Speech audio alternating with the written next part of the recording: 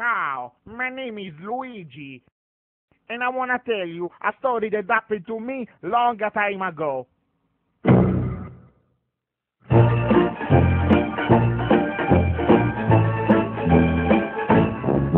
One day, I'm gonna to Malta to a big hotel. In the morning, I go down to eat a breakfast.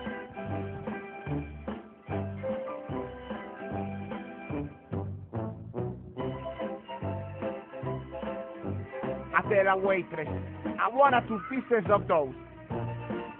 She brings me only one piece. I tell her, I want a two piece. She says, go to the toilet. I say, you don't understand. I want a two piece in my plate. She says, you better not bitch in a plate, you son of a bitch. I don't even know the lady